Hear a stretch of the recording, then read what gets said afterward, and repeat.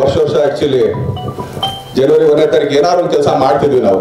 ಆದ್ರೆ ಈ ಸಲ ಆಗ್ಲಿಲ್ಲ ಆದ್ರೆ ಅದಕ್ಕೆ ಎಸ್ ಆರ್ ಸರ್ ತುಂಬಾ ಥ್ಯಾಂಕ್ಸ್ ಹೇಳ್ಬೇಕಾದ್ರೆ ಜನ ಒಂದು ಕೆಲಸ ಕೊಟ್ಟರು ಇವತ್ತು. ಸೊ ಒಂದೇನಾದ್ರೆ ಬಹಳ ಖುಷಿ. ಅವರ ಇಂಡಸ್ಟ್ರಿ ಜನ ಕೆಲಸ ಮಾಡಿದ್ವಿ ಅಂತ ಹೇಳಿ. ಸೊ ಅದು ಆಲ್ ದಿ ಬೆಸ್ಟ್. ಮೊದಲನೇ ವರ್ಷ, ಮೊದಲನೇ ದಿನ ಕೆಲಸ ಮಾಡ್ತಾ ಇದ್ದಾನೆ. ಸೊ ಇಡೀ ಟೀಮ್ಗೆ ಫೈವ್ ಡಿಗೆ all the all the best. ಆಮೇಲೆ ಒಂದೇನಂದ್ರೆ ಈಗ ಎಸ್ ಆರ್ ಸರ್ ಗಡಿಯಿಂದಾನೆ ನಾವು ಬಂದವರು. ಮುಖಕ್ಕೆ ಬಣ್ಣ ಹಚ್ಚಿದ ಅಲ್ಲಿಂದ. ಸೊ ಅವ್ರ ಗಡಿಯಿಂದ ಬಂದವ್ರು ಎಲ್ಲಾರು ಎಲ್ಲ ಒಂದೊಂದು ಎತ್ತರಕ್ಕೆ ಬೆಳೆದಿದ್ದಾರೆ ಏನೋ ಒಂದು ಸ್ಥಾನಮಾನ ಗಿಟ್ಟಿಸ್ಕೊಂಡಿದ್ದಾರೆ ಸೊ ಅದೇ ರೀತಿ ಆದಿದಿ ಫಸ್ಟ್ ಎಸ್ ಸರ್ ಜೊತೆ. ಸೊ ಅವ್ನಿಗೆ ಅದೇ ತರ ಒಂದು ಲಕ್ ಸಿಗ್ಲಿ. ಸೊ ಎಲ್ರಿಗೂ ಒಳ್ಳೇದಾಗ್ಲಿ ಅಂತ ಆಶಿಸ್ತೀನಿ. ಆಮೇಲೆ ಎಸ್ ಸರ್ ಆಕ್ಚುಲಿ ಸರ್ ಹೊಸ ಒಂದು ಟ್ರೆಂಡ್ ಅಂತ ಸ್ಟಾರ್ಟ್ ಮಾಡ್ತಾ ಇದಾರೆ. So thriller movie actually first time ಅಂತ ಕಾಣಿಸೋದಿಲ್ಲ ಯಾಕಂದ್ರೆ ಅವ್ರು ಮಾಡ್ತಿದ್ದೆಲ್ಲ ಈಗ ಆಕ್ಚುಲಿ ನಾವು ಇದು ನೋಡ್ತಾ ಇದ್ದಿದ್ದು. ಎಲ್ಲ ವಿಷ್ಣು ಸರ್ ದೊಡ್ಡ ದೊಡ್ಡ ಸಿನಿಮಾನೇ ನಾವು ನೋಡಿರೋದು. ಸೊ ಇದು ಫಸ್ಟ್ ಟ್ರೈ ಮಾಡ್ತಾ ಇದ್ದಾರೆ ಸೊ ಆಲ್ ದಿ ಬೆಸ್ಟ್ ಎಲ್ಲ ಒಳ್ಳೇದಾಗ್ಲಿ. ಅಮ್ಮನ್ಗೆ ಒಳ್ಳೇದಾಗ್ಲಿ. ಹೀರೋನವ್ರಿಗೆ ಒಳ್ಳೇದಾಗ್ಲಿ. ಎಲ್ರಿಗೂ ಒಳ್ಳೇದಾಗ್ಲಿ ಅಂತ ಕೇಳ್ಕೊಳ್ತೀನಿ ಧನ್ಯವಾದಗಳು. ಥ್ಯಾಂಕ್ ಯು ಮಾಧ್ಯಮದವರು, ಸ್ನೇಹಿತರು ಹಾಗೂ ಈ ಚಿತ್ರದ ತಂಡದ ಎಲ್ಲ ಕಲಾವಿದರು, ನಿರ್ದೇಶಕರು, ನಿರ್ಮಾಪಕರು, ಸಂಕಲನಕಾರರು, ಛಾಯಾಗ್ರಾಹಕರು, ಪ್ರತಿಯೊಬ್ಬರು, ಎಲ್ಲರಿಗೂ ನನ್ನ ನಮಸ್ಕಾರ. ಮೊದಲನೇದಾಗಿ ನಾರಾಯಣವರು ನಮ್ಮ, ಅಂದರೆ ನಮ್ಮ ಸಂಸ್ಥೆಯ ಗರಡಿಯಿಂದ ಬಂದಿರೋರು. ಅವರ ಜರ್ನಿ ಪ್ರತಿಯೊಬ್ಬ ಡೈರೆಕ್ಟ್ರೂ ಅದನ್ನು ಪುಸ್ತಕವಾಗಿ ಇಟ್ಕೋಬೇಕು. ಅಂದರೆ ಹೇಗೆ ಒಬ್ಬ ಮನುಷ್ಯ ಏನು ಡ್ರೀಮ್ ಮಾಡ್ತಾನೆ, ನಮಗೆಲ್ಲ ಡ್ರೀಮ್ ಮರ್ಚೆಂಟ್ಸ್ ಅಂತಾನೆ ಹೆಸರು.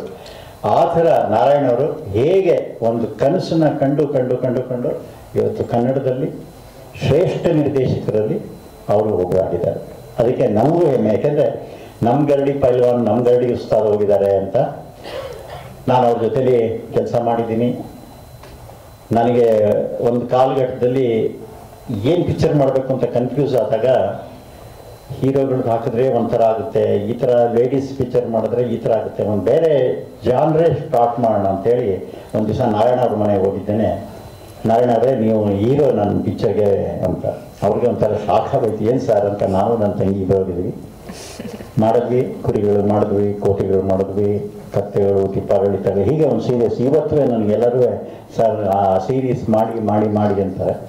ನೋಡೋಣ, ಎಲ್ಲದಕ್ಕೂ ಮೇಲೊಬ್ಬ ಇರ್ತಾನೆ, ಅವನು ಆಶೀರ್ವಾದ ಮಾಡಬೇಕು. ಇವತ್ತು ಒಂದು ಭಾಳ ಹೆಮ್ಮೆಯ ವಿಚಾರ ಅಂದರೆ ನಮ್ಮ ದರ್ಶನ್ ಎಷ್ಟು ಬೆಳೀತಾ ಬೆಳೀತಾ ಬೆಳೀತಾ ಎಷ್ಟು ಬೆಳೆದಿದ್ರು ಎಷ್ಟು ಸಿಂಪ್ಲಿಸಿಟಿಗಿದ್ದಾರೆ ಅದನ್ನು ನಾವು ಕೊಂಡಾಡಲೇಬೇಕು. ಸೊ ಅವರು, ಅವ್ರು ರಾಬರ್ಟಲ್ಲಿ ಒಂದು ಹಾಡು ಮಾಡಿದ್ದಾರೆ. ದೋಸ್ತ ಕಣ ದೋಸ್ತ ಕಣ ಅಂತ. ಅದು ಅವರೆಲ್ಲ ಸ್ನೇಹಿತರನ್ನು ಸೇರಿಸಿ ಅದರಲ್ಲಿ ಅವ್ರನ್ನೂ ಪ್ರೊಜೆಕ್ಟ್ ಮಾಡಿದ್ದಾರೆ. ಹಾಗೆ ದುಷ್ಯಂತು ದರ್ಶನ್ ಇಬ್ರು ನಮ್ಮ ಪಿತಾಮಹ ಪಿಕ್ಚರ್ನಲ್ಲಿ ಅವ್ರ ತಂದೆಯವರು ಬರ್ತಿದ್ದಾಗ ಅವರಿಬ್ಬರು ಸ್ನೇಹಿತರು. ಅಲ್ಲಿಂದ ಅವರ ಒಂದು ಸ್ನೇಹ.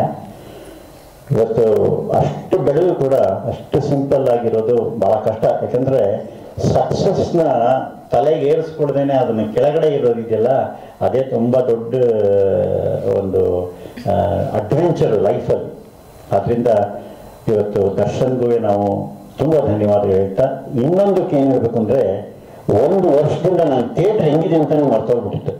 ನಾನು ಬಂದೆ, ಯಾಕಂದ್ರೆ ಪ್ರತಿ ದಿವಸ ನಾನು ಪಿಕ್ಚರ್ ನೋಡಲೇಬೇಕಾಗಿತ್ತು ಓರಿಯಾನ್ ಮಾಲಿಗೆ ಬಂದು. ಬಂದೇ ಇರಲಿಲ್ಲ ಒಂಬತ್ತು ತಿಂಗಳಿಂದ. ಇವತ್ತೊಂದು ನಮ್ಗೊಂದು ಆಪರ್ಚುನಿಟಿ ಕೊಟ್ಟು, ಈ ಬೆಳ್ಳಿ ಪರದೆ ಇದೆಯಲ್ಲ, ಇದನ್ನ ಯಾರ್ಯಾರೋ ಇನ್ನೇನೋ ಹೇಳ್ತಾರ, ಸಿನಿಮಾ ಆಗೋಯ್ತು, ಸಿನಿಮಾ ಮುಗಿದೋಯ್ತು ಅಂತ. ಸಿನಿಮಾ ಯಾವತ್ತೂ ಮುಗಿಯಲ್ಲ, ಹುಟ್ಟಿ ಹುಟ್ಟಿ ಬರ್ತಾ ಇರುತ್ತೆ, ಒಂಥರ ಫೀಲ್ಸ್ ಥರ ಎದ್ದೆದ್ದು ಬರ್ತಾ ಇರುತ್ತೆ. ಪ್ರಪಂಚದಲ್ಲಿ ಒಂದನೇ ವರ್ಲ್ಡ್ ವಾರ್ ಬಂದಾಗ ಸಿನಿಮಾ ಮುಗಿದೋಯ್ತು ಅಂದರು ಎರಡನೇ ವರ್ಲ್ಡ್ ವಾರ್ ಬಂದಾಗ ಮುಗಿದೋಯ್ತು ಅಂದರು. ಫ್ಲೂ ಬಂದಾಗ ಮುಗಿದೋಯ್ತು ಅಂದರು. ಇಂಡಿಯಾ ಪಾಕಿಸ್ತಾನ ವಾರ್ ಬಂದಾಗ ಆಗೋಯ್ತು ಅಂತ ಹೇಳಿದ್ರು. ಈ ಸಿನಿಮಾ ಯಾವತ್ತೂ ಸಾಯಲ್ಲ. ಇದೊಂಥರ ಚಿರಂಜೀವಿ ಚಿರಂಜೀವಿ ಚಿರಂಜೀವಿ ಇದೆ.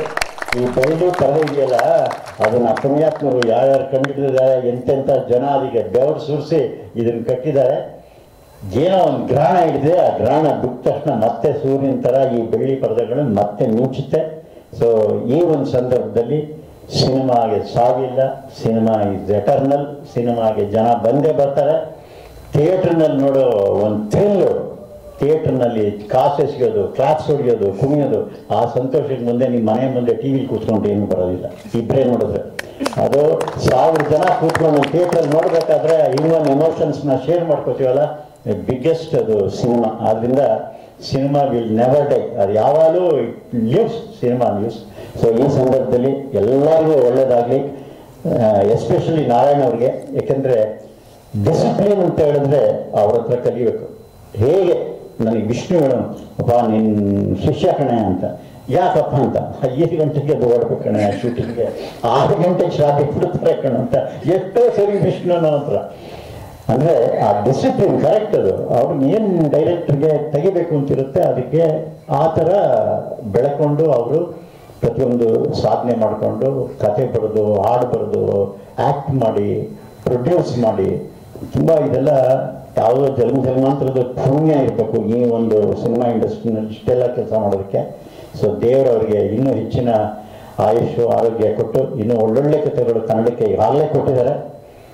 ಇನ್ನು ಇವತ್ತಿಗೂ ಸೈ ಆವತ್ತಿಗೂ ಸೈ ಮುಂದಕ್ಕೂ ಸೈ ಅಂತ ನಾರಾಯಣ ಅವರು ಜೈ ಅಂತ ಹೋಗಿ ಅಂತ ನನ್ನ ಎರಡು ನಾನೇನು ಗುರುವಲ್ಲ ನಾನೇನು ನಾನು ಒಬ್ಬ ಅವತಾರನೇ ಒಬ್ಬ ಟೆಕ್ನಿಷಿಯನ್ನು ಸೊ ನಮ್ಮೆಲ್ಲ ಗುಡ್ ವಿಶಸ್ ಎಲ್ಲ ಹತ್ರನೂ ಇರುತ್ತೆ thank you thank you sir S S TV subscribe ಮಾಡಿ ಹಾಗೂ ಬೆಲ್ ಬಟನ್ ಅನ್ನು ಕ್ಲಿಕ್ ಮಾಡಿ.